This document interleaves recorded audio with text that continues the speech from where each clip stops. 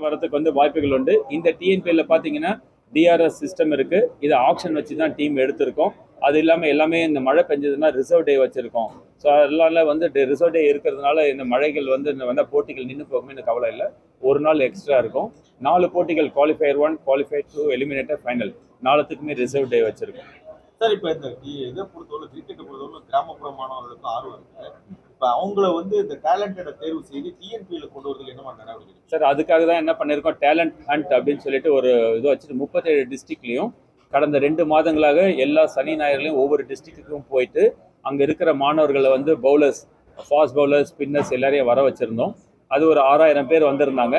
அவங்கள இருந்து நாங்கள் ஃபில்டர் பண்ணி ஒரு நூற்றம்பது பேரை சென்னைக்கு வர வச்சோம்.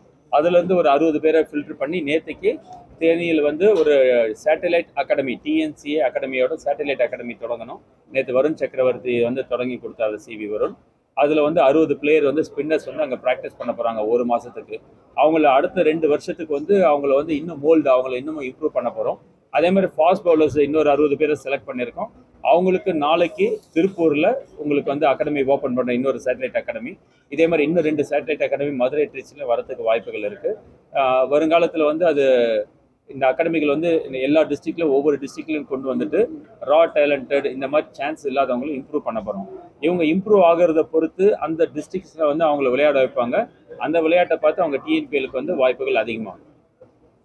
வந்து ஆறாயிரத்தி ஐநூறு பேர் உட்காரலாம். டிக்கெட் வந்து இரநூறுபா ஹாஸ்பிட்டாலிட்டி டிக்கெட் வித் ஃபுட்டோட வந்து ஆயிரத்தி ஐநூறுரூவா டிக்கெட் விற்பனை பேடிஎம்ல வந்து வருகின்ற பதினாலு அல்லது பதினைந்தாவது தேதிகள் தொடங்கும். ஆன்லைன்லேயே பர்ச்சேஸ் பண்ணிக்கலாம்.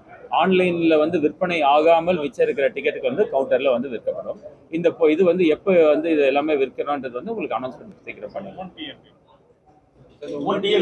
தொடங்குது. இருபத்தி நாலாம் தேதி சேலத்தில் போட்டிகள் தொடங்க போகுது. இங்கே மொத்தம் வந்து பத்து போட்டிகள் நடக்குது. அதில் எட்டு லீக் போட்டிகள் அதுக்கப்புறம் குவாலிஃபயர் அண்ட் எலிமினேட்டர் ரெண்டு போட்டிகள் இங்கே நடக்கும். இது மொத்தமாக ரெண்டு வந்து பேக் டு பேக் மேட்சஸ் இருக்குது எட்டு டீம் பங்கேற்கிறாங்க. கடைசி லாஸ்ட் இயர் இருந்த அதே எட்டு அணிகள்.